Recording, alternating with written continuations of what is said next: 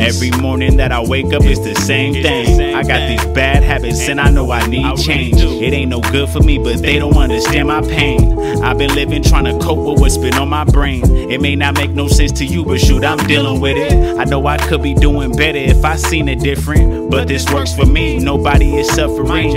I know what dealing with this negativity can bring, so I'll just deal with it all on my lonesome. I bet you when they see me, they think that I'm on one. They care enough to speak about it, but won't do much.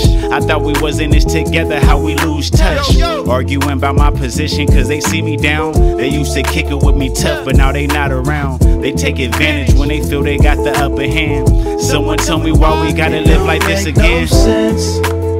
It don't make no sense. It don't make no sense. It don't make no sense no more. It don't. Why we live like this?